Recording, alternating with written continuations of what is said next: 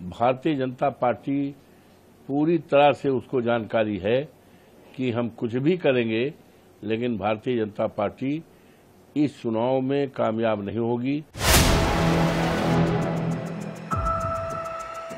फैजाबाद लोकसभा क्षेत्र की मिल्कीपुर विधानसभा सीट पर उपचुनाव होना है, लेकिन उससे पहले बीजेपी मिल्कीपुर में बड़ा खेला करने में लगी है। पहले मुहित खान के मामले में समाजवादी पार्टी को बीजेपी ने जमकर घेरा।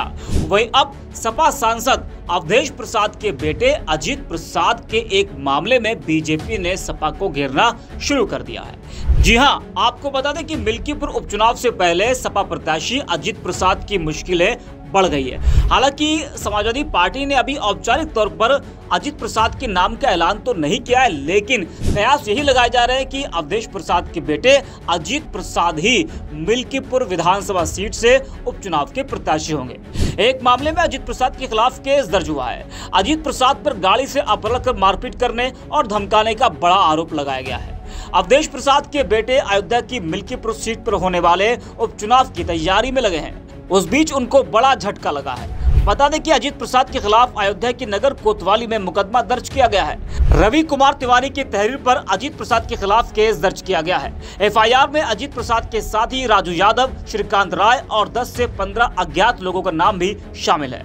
अब इस मामले को लेकर सपाइयों में आक्रोश है। सपा का कहना है कि उपचुनाव में बीजेपी हार रही है, जिसकी वजह से बीजेपी सपा प्रत्याशी को फंसाने का काम कर रही है। वहीं सपा ने इस मामले को लेकर बीजेपी पर बड़े आरोप लगा है। समाजवादी पार्टी ने एक्स पर लिखा कि अयोध्या में पासी समाज का एक दलित सांसद बन गया। भाजपा को ये बात नागवार है। सीएम योगी के ठाकुर को सपा के दलित पासी ने चुनाव हरा दिया। इसलिए अवधेश प्रसाद के बेटे अजीत प्रसाद के खिलाफ साजिश से योगी सरकार ने केस दर्ज करवा दिया है। सीएम योगी का ये जातिवाद और दलितों पिछड़ों के खिलाफ की मानसिकता देख ले संपूर्ण दलित पिछड़ा वर्ग। पीडीए अब अखिलेश यादव के नेतृत्व में एकजुट है और भाजपा योगी को चुनाव हराने के लिए तैयार है। तो सपा का आरोप है कि अजीत प्रसाद के खिलाफ साजिश के तहत योगी सरकार ने ये केस दर्ज करवाया है। वही इस मामले को लेकर अवधेश प्रसाद का एक बड़ा बयान सामने आया है, जिसमें वो कह रहे हैं कि ये केस निराधार और झूठा है।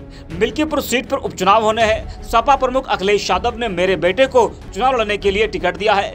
बीजेपी जानती है कि वो मिल्कीपुर सीट नहीं जीत पाएगी, इसलिए उन्होंने मेरे बेटे के खिलाफ आधारहीन मामला दर्ज किया है। जरा आप भी सुनिए अवधेश प्रसाद ने क्या कुछ कहा है। और गलत है। सच बात यह है कि मिल्कीपुर विधानसभा में उपचुनाव होना है और जिसमें हमारा बेटा अजीत प्रसाद को माननीय अखिलेश यादव जी ने पार्टी के हज़ारों कार्यकर्ताओं को कार्यालय में बुलाकर उनकी आम सहमत के आधार पर सरसम्मत निर्णय के आधार पर हमारे बेटे अजीत प्रसाद को हमारी वो सीट जिसको मैंने 12 जून को सांसद बनने के बाद खाली कर दिया था, उस पर चुनाव होना है और उम्मीदवार हमारा बेटा है। भारतीय जनता पार्टी पूरी तरह से उसको जानकारी है कि हम कुछ भी करेंगे, लेकिन भारतीय जनता पार्टी इस चुनाव में कामयाब नहीं होगी। भारतीय जनता पार्टी बुरी तरह हारेगी। इसीलिए माननीय मुख्यमंत्री जी ने भी लगातार तीन चार मीटिंगें यहाँ की है। उसका कोई रिस्पांस नहीं है, बल्कि उल्टा रिस्पांस है। एक महीना से एक दर्जन के मंत्री लगाए गए हैं चुनाव प्रचार में, लेकिन किसी प्रकार का कोई रिस्पांस नहीं है।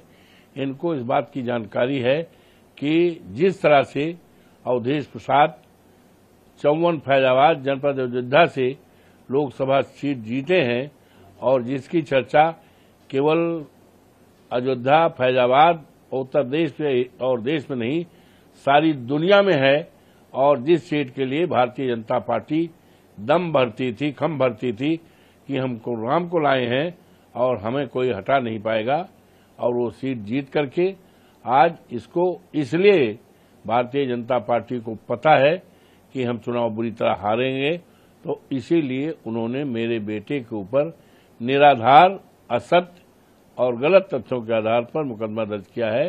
उसमें कहीं कोई सत्यता नहीं है।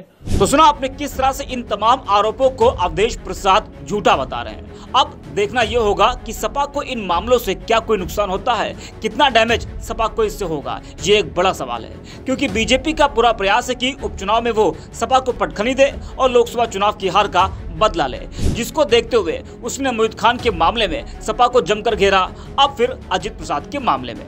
तो उपचुनाव पर इसका असर कितना पड़ता है, ये देखना होगा।